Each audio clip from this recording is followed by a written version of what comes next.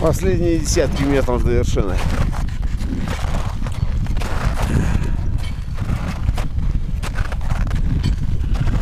Это Эквадор.